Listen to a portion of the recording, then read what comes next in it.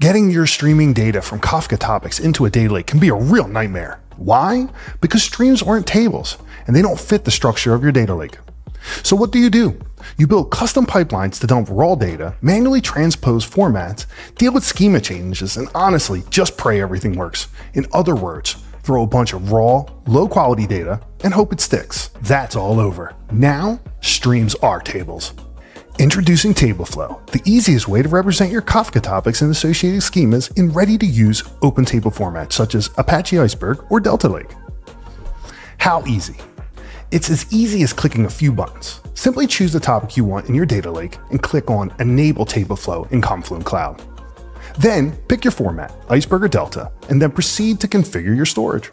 Finally, choose where you want to store your Iceberg or Delta tables, either in Confluent's managed storage or in your own storage bucket. That's it. You can see the TableFlow is successfully syncing, and now your topics are tables. By default, TableFlow works with the Iceberg REST catalog, so you can query your materialized tables from any Iceberg compatible technology. But we've also built in native integrations into partner catalogs, AWS Glue, Apache Polaris with Snowflake Open Catalog, and soon Databricks Unity Catalog. So you can query tables from compatible analytics engines such as Athena, EMR, Redshift, SageMaker Lakehouse, Snowflake, Databricks, and more. Here we are choosing AWS Glue for catalog integration.